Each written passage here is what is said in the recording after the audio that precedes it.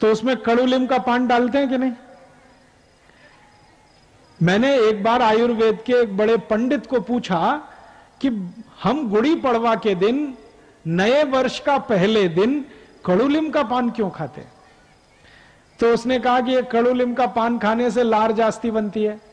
लार जास्ती बनेगी तो रेजिस्टेंस जास्ती होता है प्रतिरोधक शक्ति। और प्रतिरोधक शक्ति जास्ती है तो रोग नहीं आ सकता। और गुड़ी पड़वा कब आता है? चैत्र मास में आता है ना? चैत्र मास का पहला दिन सबसे जास्ती रोग होने की संभावना है। क्यों? बात ऐसी है कि वो जो पहला दिन है, वो संधि काल है। संधि काल कैसा है?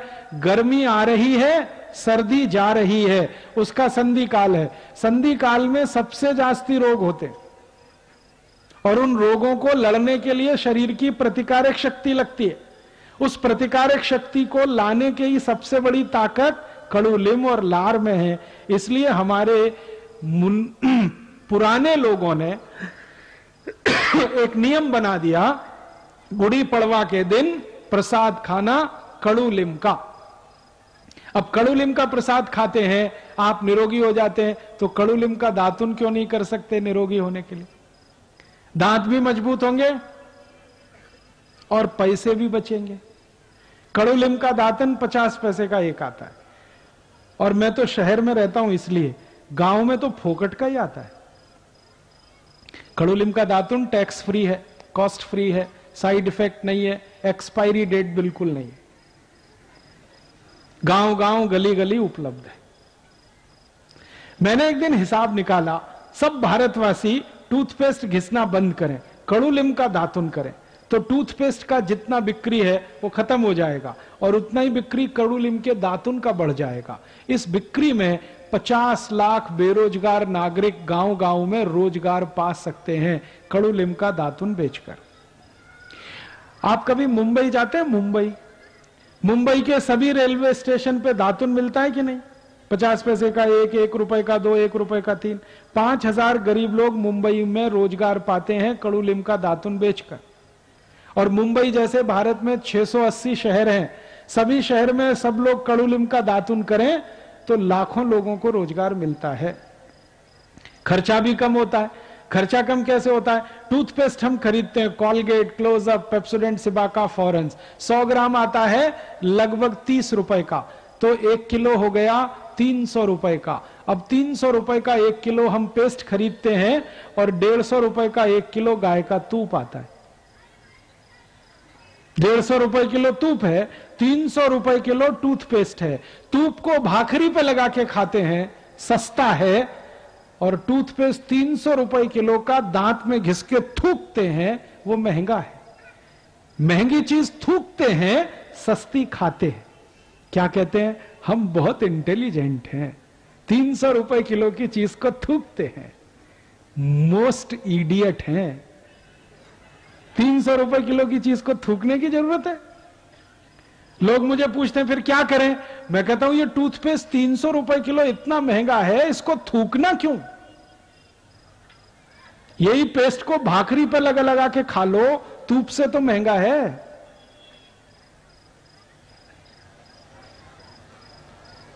और लोग टीवी का जाहिरात देख देख के कॉलगेट क्लोजअप पेप्सोडेंट खरीद खरीद के ला के दांत में घिसते हैं, इसका दो नुकसान, एक तो पैसे की बर्बादी, दांत खराब, क्योंकि ब्रश से घिसेंगे तो मसूड़े सब खलास हो जाएँगे, दांत कमज़ोर हो जाएँगे।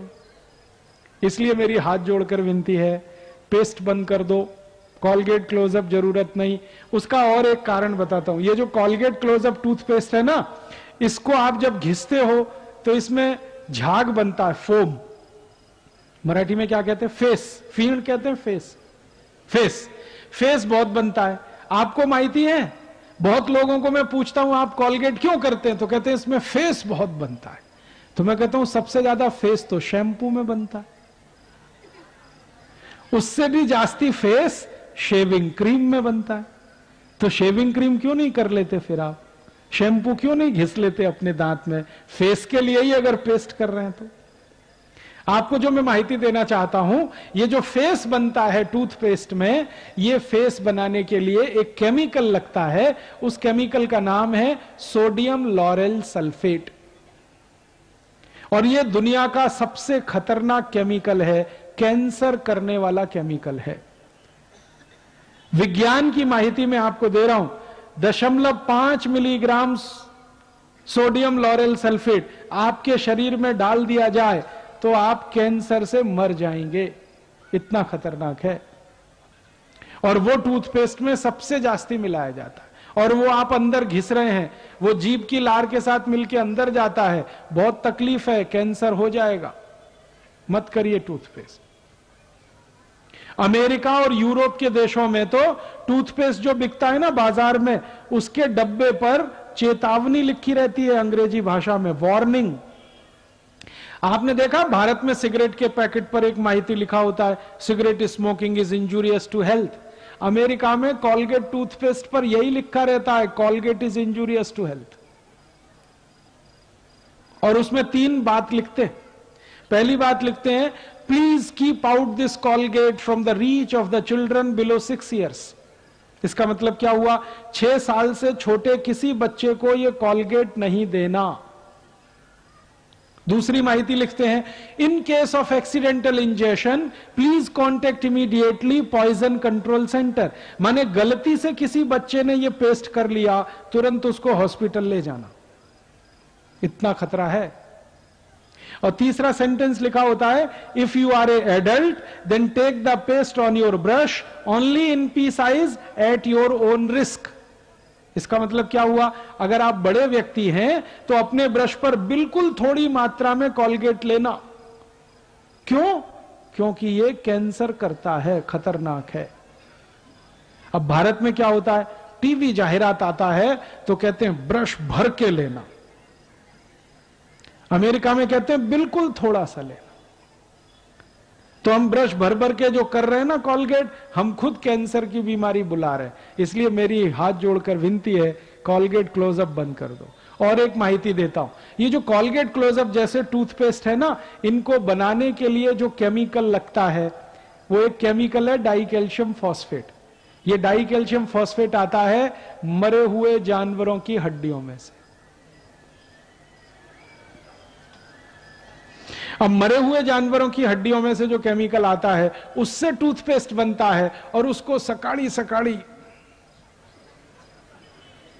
मैंने देखा है, उपवास करने वाले लोग, उपवास करने वाले पानी भी नहीं पीते, लेकिन मरे हुए जानवरों का, हड्डियों का पाउडर मुँह में घिस घिस कर उपवास करते हैं। फिर कहते हम शाकाहारी हैं। नहीं करना ये। कॉलगेट क्लोजअप पेप्सोडेंट सब बंद करो। क्या करना? खड़ू लिंबाची काढ़ी। और दूसरी एक है, बावड़ी ची काढ़ी। बावड़ी है ना? उसका भी दातुन होता है। फिर एक बहुत अच्छा पेड़ होता है, मदार की काढ़ी। और एक अच्छा पेड़ है, कदम्ब की काढ़ी। और एक अच्छा झाड़ है, जिसकी काढ़ी की जा सकती है, जाम। अमरूद कहते हैं हम लोग हिंदी में, मराठी में जाम। उसकी भी काढ़ी। आम है ना, आम। आंबा की काढ़ी, वो भी दांत घिसने में काम आती है। बारह वृक्ष हैं भारत में जिनकी काढ़ी की जाती है। सबसे अच्छी कड़ूलिम की। दूसरे नंबर पर बाबड़ी की। तीसरे नंबर पर मदार की, कदम की, ऐसे बारह वृक्ष। और काढ़ी गाँव गाँव उपलब्ध है। मैंने हिसाब निकाल के बता दिया, अगर सब लोग काढ़ी करें, पचास लाख लोगों को, बेरोजगारों को काम मिलता है। देश का पैसा भी बचता है। दांत भी अच्छे रहते हैं, लार जास्ती उत्पन्न होती है। समझ में आया? तो लार का ऐसा महत्व है। सुबह सुबह सोकर उठे, सबसे पहले पानी पिए, ताकि लार सब अंदर चली जाए। उसके बाद दंत मंजन, नहीं तो दातुन करें। पेस्ट बिल्कुल ना करें। अभी तीसरा नियम, सॉरी, चौथा नियम। तीसरा तो ये हो गया। अभी चौथा नियम। चौथा नियम है, ज़िंदगी में कभी भी ठंडा पानी नहीं पीना।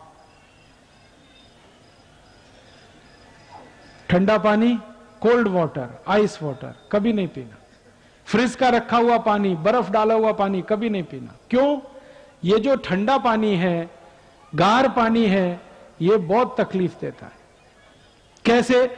आपका पोट तो गर्म है, और पानी तो ठंड है, गार है। अब ठंड पानी गर्म पोट में डालेंगे तो झगड़ा होगा। क्या या तो पानी पोट को ठंडा करेगा या पोट पानी को गर्म करेगा?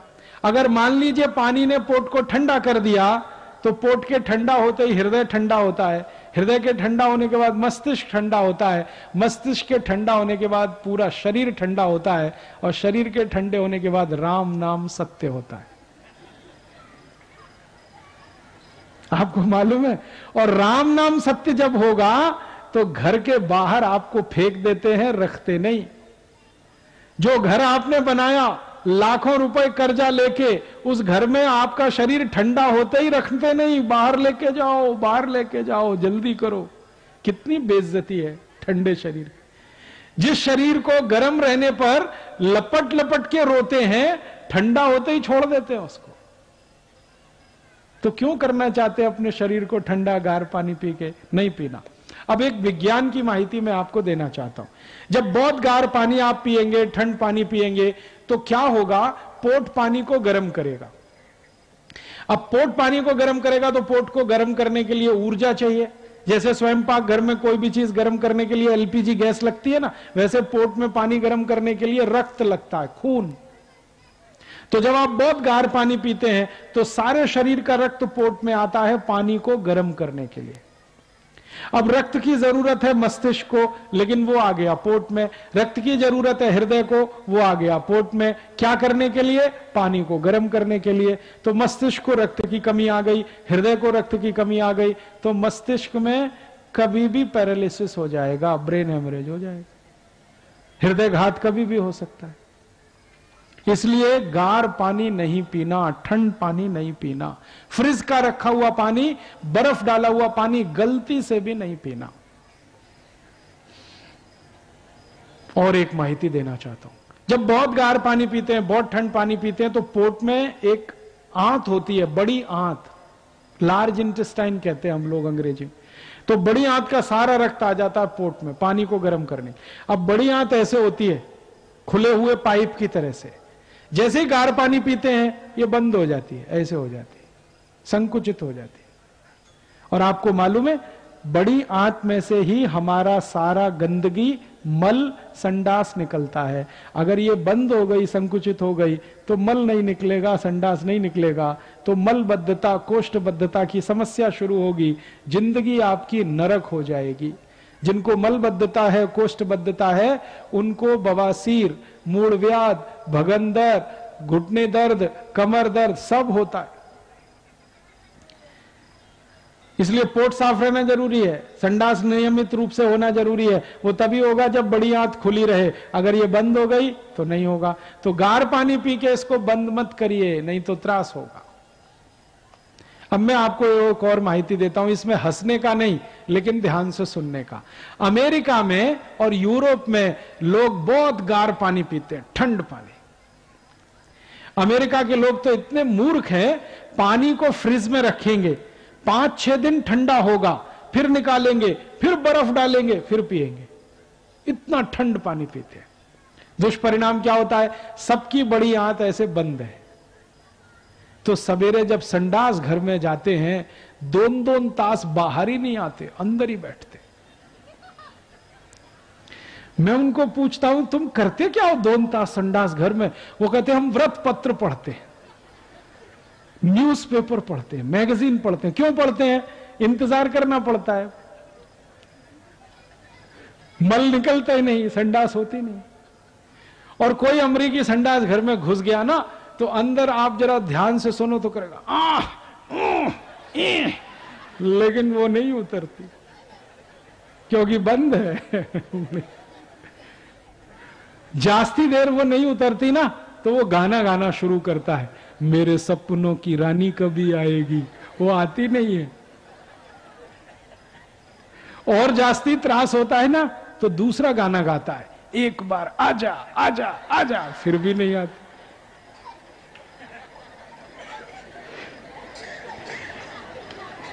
एक बार एक अमरीकी व्यक्ति को मैंने ये पूछा कि आपके संडास घर में कमोड सीट क्यों लगाते हैं? कमोड सीट समझते हैं? वेस्टर्न स्टाइल का। वो क्यों लगाते हैं? भारतीय पद्धत का संडास क्यों नहीं बनाते? उसने उत्तर दिया, भारतीय पद्धत के संडास पे पाँच मिनट बैठ सकते हैं, हमको दो तास बैठना पड़ता है। इसलिए हम कुर्सी जैसा संडास पात्र बनाते हैं, बैठ जाते हैं, न्यूज़पेपर पढ़ते रहते हैं। पोट साफ़ होता ही नहीं है। ये समस्या कहाँ से आई? गार पानी से, ठंड पानी से। इसलिए आप ज़िंदगी में कभी भी ठंड पानी नहीं पीना, गर्मी में भी नहीं पीना। तो आप बोलेंगे, फिर कौन सा पानी पीना? माटी का जो घड़ा है ना मटका, माटी का घड़ा, उसका पानी पी सकते हैं, क्योंकि वो गार नहीं है। उसका जो तापमान है पानी का वो 34-35 डिग्री है। शरीर का तापमान सैंतीस डिग्री है तो वो नज़दीक का है, इसलिए माटी के घड़े का पानी पी सकते हैं। ठीक है? चार माहिती हो गई। अभी पांचवी माहिती। तो आप फिर एक काम करना, आज से फ्रिज में पानी नहीं रखना, क्योंकि पीने का नहीं तो रखने का क्यों? और इसका एक सबसे बड़ा फ़ायदा होगा, गले का रोग नहीं आएगा। हमारे बच्चों में गले का रोग आता है ना टॉन्सिलाइटिस ये कभी नहीं आएगा अगर गार पानी नहीं पिएँगे खोखला नहीं होगा, खांसी नहीं होगी, गार पानी नहीं पिएँगे तो। तो फिर पानी पीना कैसा है?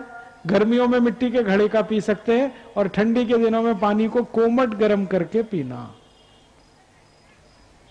कोमट गर्म करके पिएँगे तो सबसे अच्छा आप बोलेंगे पानी रखने का पात्र कैसा होना चाहिए? पानी रखने का सबसे अच्छा पात्र मिट्टी का माटी का। दूसरे नंबर पर तांबे का। ताम्र पात्र होता है ना? ये बहुत अच्छा है, पानी रखने। तीसरे नंबर पर चांदी का। आप कहेंगे, चांदी बहुत महँगी है, कहाँ से लाएँगे? आप ऐसा करिए माटी के घड़े में चांदी का एक अंगूठी डाल दीजिए, काम हो जाएगा। और उससे भी अच्छा पानी है सोने का। अब सोना तो और भी महँगा है। हाँ, महँगा है, लेकिन कोई पात्र में पानी रख के एक अंगूठी सोने की डाल दीजिए, चार्ज होता रहेगा। ये सोने चांदी का पानी पीना चाहिए ठंडी में, और माटी के घड़े का पानी पीना चाहिए गर्मी में, और ताम्र पात्र का पानी पीना चाहिए बारिश में, पाउस के सीज़न में। और पानी सबसे अच्छा माना जाता है जो पीने के लिए है, वो पाउस का, बारिश का जो पानी गिरता है ना, वो सबसे शुद्ध है। तो आपके घर में छत पर जितना भी पाउस का पानी गिरता है उसको इकट्ठा करिए। एक एक बूंद वो काम का है, कीमती है। आप बोलेंगे, कैसे इकट्ठा करें? बहुत सरल तरीका है। पाउस का जितना भी पानी है, एक पाइप में लीजिए और खड्डा खोद के उसमें डाल दीजिए, सर। फिर वही पानी वापस निकाल सकते हैं, बोर करके। साल भर जितना निकालेंगे, उतना पाउस का चला जाएगा। पानी का बैलेंस बना रहेगा तो कभी भी पानी खलास नहीं होगा। शेतकरी के लिए भी और हमारे घर के लिए। बारिश का पानी सबसे शुद्ध है। दूसरे नंबर पर सबसे शुद्ध पानी है बहती हुई नदी का। तीसरे नंबर पर सबसे शुद्ध पानी होता है कुएँ का। चौथे नंबर पर सबसे शुद्ध पानी है बोर का। अब पाँचवें नंबर पर सबसे शुद्ध पानी है म्यूनिसिपल कॉरपोरेशन का। वो पाँचवें नंबर पे है। दुर्भाग्य आपका है कि आप वो ही पीते हैं। क्यों? पाउस का पानी इकट्ठा नहीं करते, इसलिए पीते हैं। मैंने मेरे घर में एक टांकी बनाई है, नीचे, और सारा छत का पानी उसमें जाता है, गच्ची का। एक बरस में एक लाख लीटर पानी इकट्ठा होता है। हम पूरे बरस वो ही। पीते आप भी कर सकते हैं। टांकी बनाने का खर्चा बीस पच्चीस हज़ार रुपए। इससे जास्ती नहीं। और जहाँ गाड़ी खड़ी करते ना, कार वगैरह, उसी के नीचे बना दिया, ऊपर से पत्थर डाल दिया, दोनों काम में आती है वो। तो पानी पाउस का इकट्ठा करने की ज़रूर कोशिश करिए। बहुत अच्छा है, कीमती है। सब पानी से अच्छा है। तो चार नियम हो गए। अभी पांचवा नियम है, जब भोजन करना हो तो भोजन को धीरे धीरे खाना चबा चबा के खाना। मराठी में कहते हैं ना हड़ू हड़ू घ्या, सावकाश घ्या धीरे धीरे खाओ थोड़ा थोड़ा चबा चबा के खाओ। अभी कितना चबाएँ? तो आयुर्वेद में कहा गया, जितने दांत, उतनी बार भोजन चबाओ। तो आप कहेंगे, बत्तीस दांत? तो बत्तीस बार चबाओ। बाकरी का एक टुकड़ा मुँह में रखा, बत्तीस बार चबाना। तो बिल्कुल लार के साथ मिलके अंदर जाएगा, बहुत जल्दी हजम होगा और सबसे ज़्यादा ताकत शरीर को देगा। इसलिए खाना धीरे धीरे चबा के खाना। पांचवा नियम। छठा नियम है, जब भी भोजन करना तो ज़मीन पे बैठ के करना, भूमि पे बैठ के करना। खड़े खड़े नहीं। आजकल कुछ पढ़े लिखे लोग खड़े खड़े खाना खाते हैं। बुफे सिस्टम ये बुफे सिस्टम नहीं बफेलो सिस्टम है। मछी खाती है खड़े खड़े आदमी के लिए नहीं है ये। लेकिन ये पढ़े लिखे लोग हैं ही इडियट करें क्या उसका? अमेरिका, यूरोप की नकल करके खड़े खड़े खाना खाते हैं। खड़े खड़े खाना खाने में तकलीफ़ क्या है? और ज़मीन पे बैठ के खाने में क्या फ़ायदा है वो जानिए। जब हम भूमि पे बैठे हैं ना, ऐसे करके सुख आसन में आलती पालती मार के ऐसे बैठ गए। तो हमारा जो नाभि है ना, वो गुरुत्वाकर्षण बल के सीधे संपर्क में है। गुरुत्वाकर्षण बल नाभि पे जब केंद्रित होता है तो नाभि चार्ज होती है। फिर उसके बगल में जठर है, वो भी चार्ज होता है। अग्नि बहुत तीव्र होती है तो इस स्थिति में बैठ के जो खाना खाए, बहुत जल्दी हजम होता है। इसलिए ज़मीन पे बैठ के खाना खाना। फिर आप बोलेंगे, डाइनिंग टेबल डाइनिंग टेबल अच्छा नहीं है। कुर्सी पे बैठ के खाना कभी नहीं खाना। गड़बड़ क्या है? इसमें गुरुत्व केंद्र बदल जाता है। और फिर वो खाना जल्दी हजम नहीं होगा। तो आप बोलेंगे, डाइनिंग टेबल लाया तो अब क्या करना? डाइनिंग टेबल लाया है तो बेच दो।